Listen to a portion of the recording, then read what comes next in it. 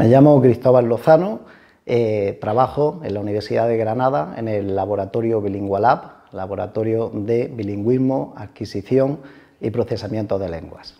Para entender cómo interactúan, por ejemplo, el español y el inglés en nuestra mente, podemos hacer un experimento muy sencillo. Consideremos la siguiente oración. Ayer vi al amigo del profesor que vive en Madrid. ¿Quién vive en Madrid? ¿El amigo o el profesor? Un español nativo seguramente iría por el primero, a por el amigo. Ahora pensemos la oración en inglés.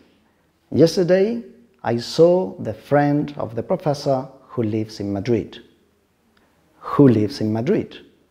Un inglés nativo no iría por el primero, friend, iría a por el segundo, del profesor.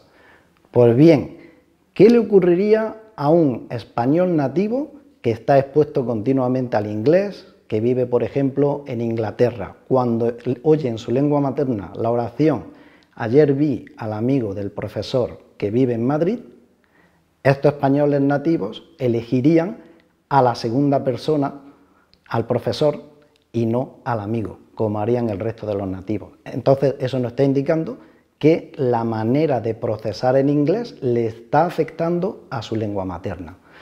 Bueno, os animo a que cogéis estas oraciones y las testéis con algunos amigos a ver qué tal salen.